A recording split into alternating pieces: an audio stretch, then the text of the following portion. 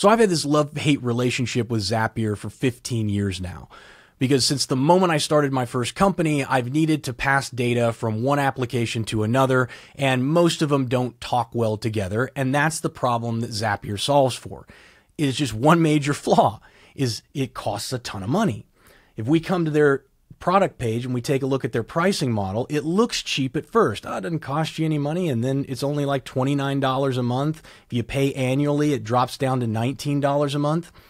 But once these tasks start to add up really quick, now I run a boutique consulting company. It's just me. I have a handful of clients that I'm working with at any given time.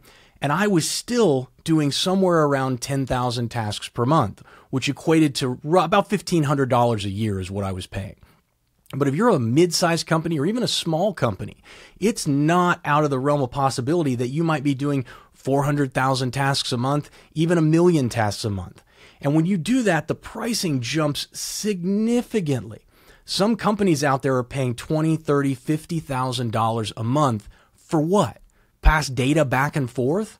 And that's where the hate relationship comes in is that it's super easy to use. It's really effective for non-tech people, but the costs are outrageous.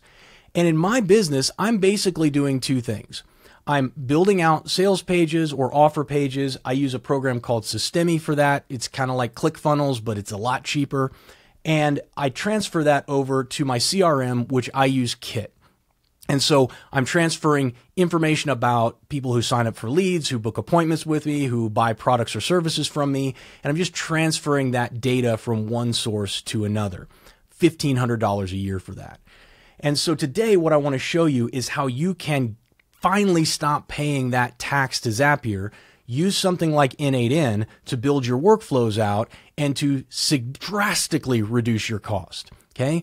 Now, the first step of this, and this is the step I'm not going to do with you, is that in order for this to work and for you to get the pricing down where you need it to be, you're going to have to have a self hosted version of N8N. And before you run off, because I know people are like, oh, I can't do that. It's so super easy to do. Um, I use a uh, website called Hostinger. It cost me $5 a month in order to host N8N, and it took me about 10 minutes to set up. So I'm going to link in the description if you if you watch the rest of the video and you're like, yeah, I want to do this. I'll link in the description to the YouTube video I watched to walk me through this, and it was so simple. I can't believe I hadn't done it months ago. Okay. But once you're on your own version of N8N, now all of those tasks, those transactions back and forth, those are all included in that $5 price tag. And even if you're doing hundreds of thousands of them, say a month, you can still, all you got to do is just increase your pricing plan from, you know, $4 a month to $8 or $10 a month. So the pricing structure here is outrageously cheap. And this is the way most of my workflows go. Take information from Systeme, send it over to Kit, and then send me an email and tell me what happened. And we can make this more complicated if we want to, but I just want to show you this very simple workflow and how it works. And since this is actually actually running live, I've moved about uh, about 20% of my workflows off of Zapier at this point. We'll be finishing the rest of it over the next week or so. But this is the ones that I put together already, and I want to show you guys how easy this is. So what we're going to do is we're going to create a new workflow. Okay? And the very first thing we're going to do is we're just going to create a webhook. And webhooks, again, for non tech people, sound really scary. It's actually super easy. So, any one of the platforms that you're going to work on, this is the back office of Systeme. And I've chosen a page here that I haven't done yet. And if I open this page up, all it is is it's a wait list for a um, a influential writing kind of training that I do twice a year and I have this wait list up. So the last time I ran one was October, and I just put the wait list up so that anybody can sign up who wants to be notified when I do it again. Super simple. Okay. Well, this is the back office of that. And if I come into my automations, somewhere in the back office of whatever software you use, you're going to have the ability to tie in a webhook. And for me, I just click on triggers. When someone subscribes to this, what action do I want them to take? Well, we're going to have them send a webhook and I'm going to come back here over into my N8N and under webhooks, I've got two webhooks here. I've got a test URL and I've got a production URL. And I'm going to add both of these into Systeme for this funnel. So I'm going to click that one there. I'm going to try to do this one more time. Send work webhook.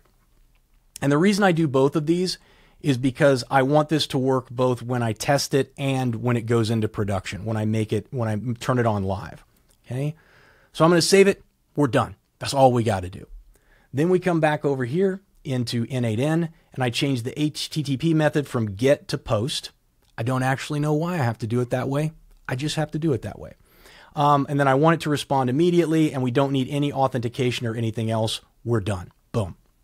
Next thing we're going to do is just like Zapier. So one of the great things about Zapier is they've got connections to pretty much anything you could want. I've never gone to Zap and not been able to find kind of a built-in node for exactly the application I wanted to work with. You can use something cheaper like make.com, but they really struggle. They don't have the same capacity as Zapier does to make those connections. So if you're not a techie person, then it gets really cumbersome. And that's why I never move my stuff over to make. Okay, gang, quick break to tell you about our sponsor for the show, Motion. Listen, if your calendar resembles a Jackson Pollock painting and you find yourself constantly falling behind schedule, you need to try Motion. It's the AI powered super app that rebuilds your workday in real time. Motion pulls every task, every project, every meeting into one place and then prioritizes and time blocks your calendar so you always know exactly what to tackle next. It's kind of like having a project manager and a personal assistant and I don't know, an air traffic controller all rolled into one. And the results? Well, teams tend to finish work twice as fast with 90% fewer check ins, emails, and meetings, which, let's face it, it's something we can all afford to avoid. And because Motion predicts delays before they happen, you can course correct in days instead of hours before a deadline. Now, I've swapped my patchwork of calendars, task apps, and sticky notes for Motion, and I have never been happier. So click the link in the description to try Motion for free today and start turning chaos into calm. Now, back to the show. Now, the next thing I'm going to do is I'm just going to add another node. And this time I'm going to search for Kit. And Kit used to be called ConvertKit. And you can see they already have a pre-built node for Kit. And when I click on it, I look at all this stuff I can do create a custom field, delete a custom field. When you go and build something out in Zapier, this is the same thing that they're doing. They're just doing it in a purely linear format, and they've made it a little bit easier for people who are, are who don't know how to navigate it to navigate through the process. But I'm just going to come down here to tag subscriber actions, and I'm going to click on add a tag to the subscriber. Okay. Now, in this case, if there's no uh, subscriber already in uh, kit, it will automatically add that subscriber. So what I'm telling the system to do is I said, hey, once somebody signs up, I want you to send their information over to Kit. And if they don't have somebody who's already, if you don't already have an email address for them, I want you to create one and then I want you to give them a tag. So I'm going to tag subscriber, I'm going to add, and the tag I'm going to select is IWI waitlist. So I've already created my tag inside of Kit. So that's set up and ready to go. And the last thing we need is just an email address, which I'm going to show you how to get in just a minute. So now we come out, we're going to add one more node. Okay. And in this node, we're going to go to Gmail. And I've already connected my Gmail account, which was not that difficult. And then I'm going to come down to send an email. So we're going to send a message. Boom. And I'm going to send to me, Jason at jasonstapleton.com. And the subject is just going to say new subscriber, and we'll do IWI waitlist. And then in the HTML, I just put something in here. Like I don't need a lot of information. I just like seeing how many people are signing up from what they're signing up for. So I'll just say something like a new subscriber joined the IWI waitlist. And that's all we're going to do for that. And we're done. So now what we need to do is we need to test this workflow and see if it worked. And as I said before, we've already got our thing set up here. So what we're going to do is we're going to say execute workflow. Oh, they, it's got a problem. We got to have some dummy info in here first. Okay. So we're just going to put my email address in there for the first test. And then I'm going to click execute workflow. And now it's listening. It's listening for something to happen here. Then I'm going to come in here and say test buddy at test.com. And to click submit. Boom. And if we come back over to Kit, you're going to see it work. And boom. If we come back in here, you'll see all of the information that is available. So these are all the field forms inside of Zapier that you could have populated. And the ones that it pulled over for me is going to be there's the email address, test at test buddy. If there's no information, it says null, etc. Then we come to the next one here. And now what we're going to do is we need to replace this email address here with the email address that came through. And that's just a matter of scrolling down here. And this is how easy this is. Look at this. So I find test at testbuddy.com. I just drag this over. Boom. And now it's in there and now it will work correctly the next time we run the workflow.